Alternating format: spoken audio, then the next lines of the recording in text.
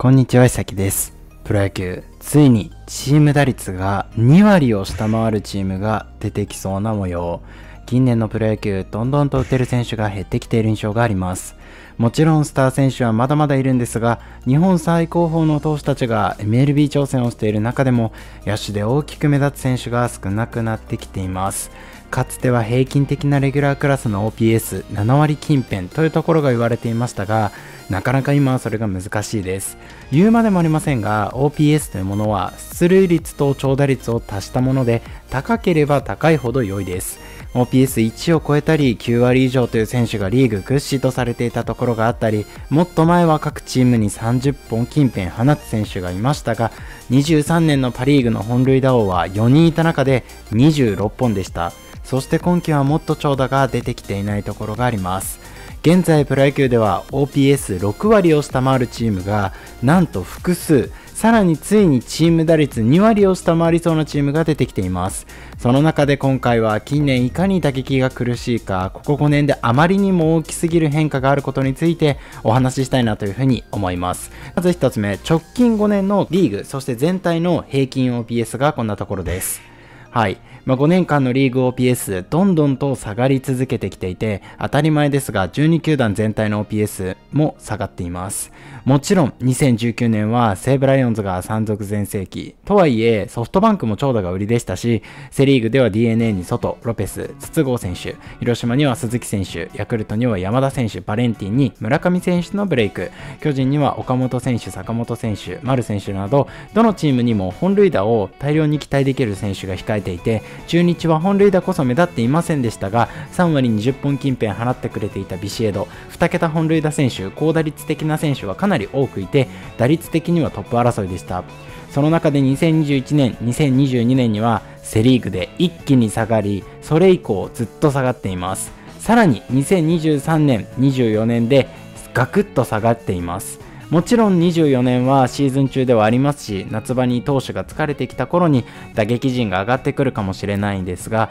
現時点ではかなり低下していることが目立ちます。実際22年セパともに投稿打定が始まっているということについてはもう何度も何度も動画で上げてきていて今更感はありますがその時からボールに変化があるのではないか投手の強さ以上に何かがあるのではないかと言われていました。その中で今季は2度目となる投稿打定が進んでいるシーズンになってきたかなと思います。そして5年間の各チームの OPS の変化がこちらです。12球団単位で下がっているもので上がっているチームはないというのが現状です。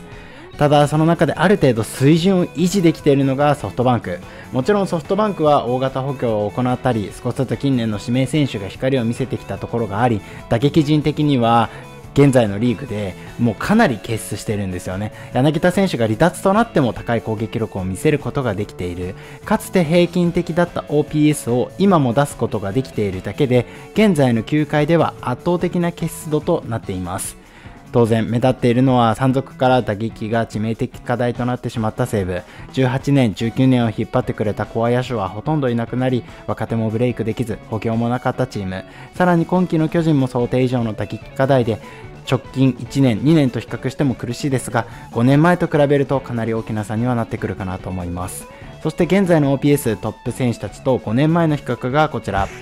かつてはレギュラー平均 OPS7 割と言われていて24人から26人程度、まあ、単純に6チームで割っても1チームあたり4人から5人程度いったところになるんですよね。ただ現在はリーグ全体で10人から13人。1チームに2人いるかいないか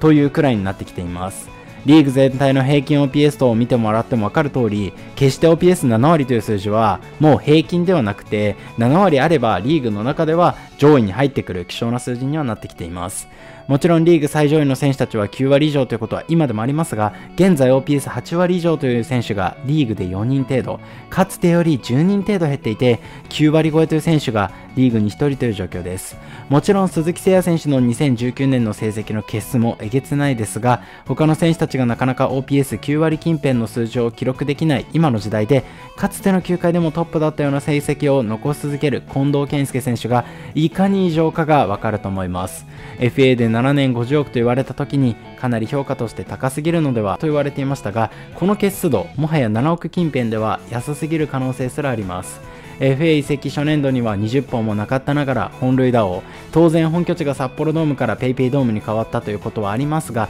打撃で大きな飛躍そして今季は今までより圧倒的な欠出他の打者が苦しむ中でも変わらずむしろ彼は成績を上げている歴史的にも残る活躍と言えるでしょう。そして OPS6 割を下回っているチーム3チームあります。かつて OPS7 割を下回っていれば平均以下のチーム OPS さらに 6, 割5分以下ならリーグ屈指の頻打のチームになっていましたがそれよりえげつない数字になっています。中日は細川選手が OPS8 割4分1厘でトップ。さらに100打席以上で福永選手カリステが OPS7 割3分超え、まあ、正直この3人はもう基本的に外せないところですが他の選手たちの苦戦やこの選手たちも怪我ではないながらスタメンから外れるということが起こってしまっています。また阪神では主力の不振が目立ちますが近本選手が OPS でチームトップの7割2分3厘。次に前川選手が7割1分4厘という状況。若手かつ外野課題の中でなかなか左投手相手に起用してもらえなかったというところがあります。した23年長打課題ながら得点力トップだったチーム。常に出塁もできてきたチームですが主力の不振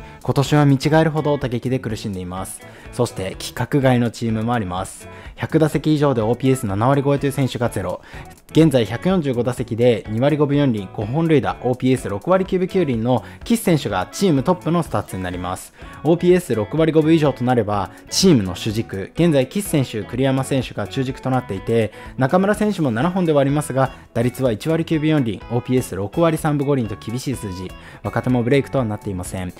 岸選手も決して若手ではなくもう中堅以上の年齢になってきています。23年投手でかなり入れ替えもあったチームで先発で強みを期待されましたが救援崩壊で先発から救援に回したり離脱もあったりエースがまさかの不振など先発も決して強みではなく救援が崩壊中さらに守備まで課題離脱も出ている。22年は野手1位から3位という歴史的にもかなり大きめな野手指名を敢行。23年は投手3人指名現役ドラフトや人的表彰等で投手強化を狙ったにもかかわらず大きく変えることができておらずむしろ投手がかなり課題になってしまった。ている。これは痛すぎるどころか致命的な問題です。そしてそもそも野手も23年新助っ人野手の中で目立っていた2桁本塁打 OPS7 割以上のマキノンを放出したにもかかわらず野手追加が助っ人2人のみ。マキノン放出なら最低限3人以上。あくまでマキノンプラスで2人のメイン助っ人で奇跡を狙う。それくらいの打撃状況でしたが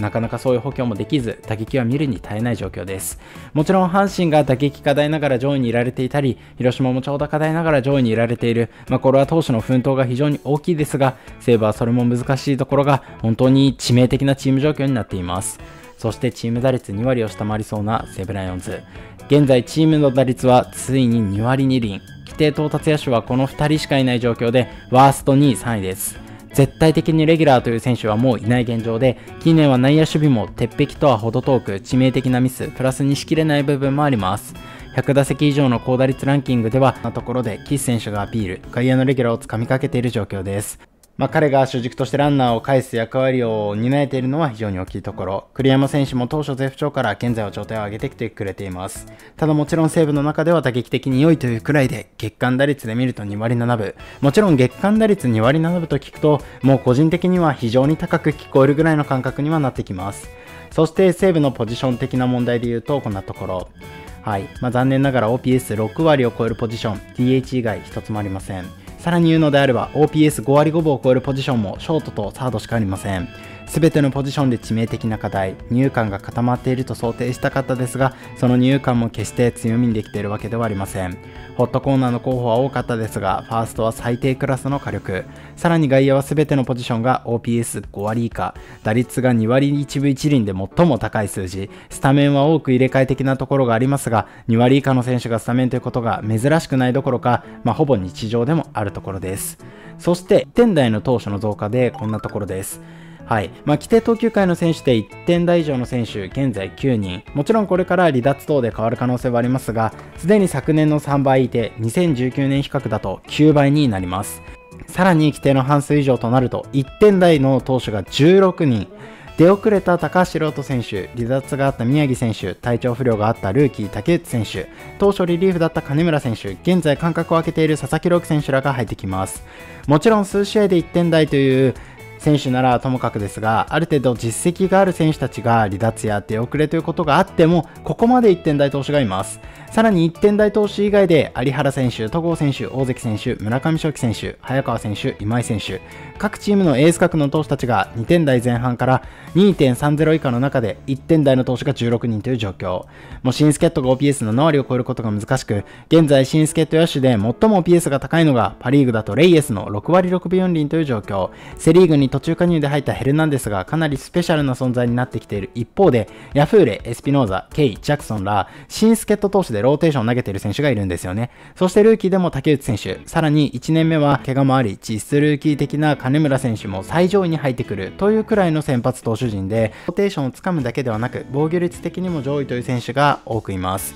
リリーフが強力な中日、投手陣全体が強力な広島阪神、投手課題想定ながらまずまずの巨人、課題と言われながら想定よりはよく耐えられているヤクルト DNA、打撃陣が苦しんでいるからこそまとまっているという形になるのか、投手が想像より成長を見せられているからこそ、どのチームも野手が苦しいか、これは正直、鶏が先か、卵が先かというところもあるでしょう。ただパリーグではかつてタイトル最上位だった山本選手、千賀選手が MLB、現在パリーグで唯一の4年連続規定投球回という高橋光成選手がまさかの不審、山本選手移籍の中でエースとなっていた宮城選手の離脱などもあり、規定投球回到達投手で防御率上位3人が助っ人という状況なんですよね。もちろん投手が強いということはありますが、野手が苦しんでいる印象も否めないかなと思います。そして奪三振と本塁打、まあ、正直打撃陣が打てなくなってきているというところがある中で得点が現在3年連続で下降中。特に2019年から20年は短縮シーズンのため減ったことは仕方ないですが2021年は延長が短くなったというところもあると思いますが数字的に2019年から大幅にダウン。ただ2022年からは延長が再び12回に戻ったにもかかわらず2021年より得点がさらに減ってるんですよね。特にセ・リーグでは2023年は1試合平均の総得点総得点が3.50だったにもかかわらず今は2.96です。今までは合計1試合で4点近辺は入っていたんですが今年は1点少ないんですよね。まあこう考えると非常に大きいと思います。そして本塁打も3年連続で減少中。正直詳細な打球角度や守備も考慮に入れたいところなんですがもうそこまですると動画が終わらないので今回あくまで分かりやすく得点本塁打三振というところで考えてみます。実際得点、本塁打ともに3年連続で減っている。となれば投手が強くなっている。と考えることもできるんですが実際その中で奪三振がものすごく増えているかっていうと難しいんですよね、まあ、当然ですが投手が打者を絶対的に抑えるっていうのはやはり三振なんですよね。ゴロはエラーがある可能性もありますしフライは当然球場によってはホームランになり得ますし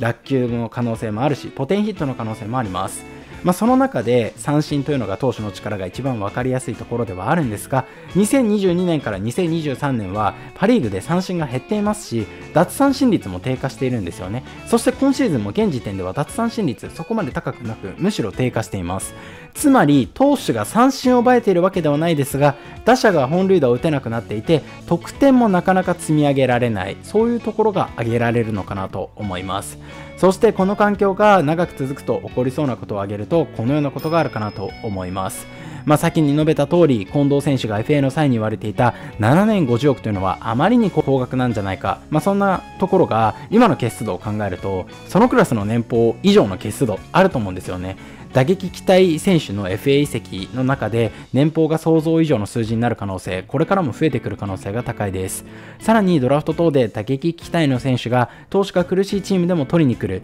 強豪的なところが増える可能性が高いです。そして1番は長打期待選手が2軍にもいないというチームが出てきて、そういう選手が多いチームが1軍で勝つためにはコンタクト重視の起用や守備走塁の細かい野球重視になっていきより打定環境が進んでいく、まあ、これがあり得ると思うんですよね。特に広島そういうところが目立つかもしれません。そうなると長打的に魅力がありながらコンタクトや守備的なところに粗さがある選手我慢されづらくなっていくんですよね。どんどんと打定環境が進んでいきます。もちろん打てる選手が多いチームに若手選手が起用されると若手もそこで三振して凡退してもチームの直接的な結果につながらないということがあって我慢されやすくなるんですよね、まあ、そうやってどんどん楽な場面で結果を出して自信をつけて1軍にブレイクしていくっていうことが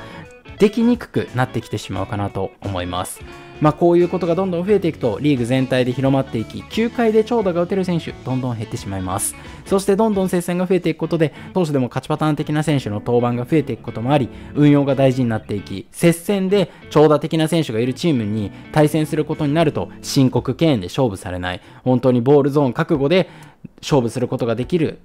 で、打者もそれで崩してしまう。もちろんそれで崩さないことが理想的ですが、やはり後続のバッターで長打が望める選手がなかなかいないとなると、多少ボールゾーン覚悟でも勝負して打っていかないとチームを変えることができない。まあそういう風のスパイラルになって苦しむ選手も出てきてしまうかなと思います。さらに打者がなかなか投手を超えられなくなっていくと、その打者を超えようとする投手のレベルアップ、向上心的なところにつながらない可能性もあるかなと思います。まあ野球界のレベルが下がるとまでは思いませんが、上がるペースが落ちていく、そんなことまで考えられるかもしれません。そしてそれがプロだけではなくアマチュア野球まで広まってしまうとどんどんと野球界全体が小さくなっていくそんなことがありえてしまうかもしれません。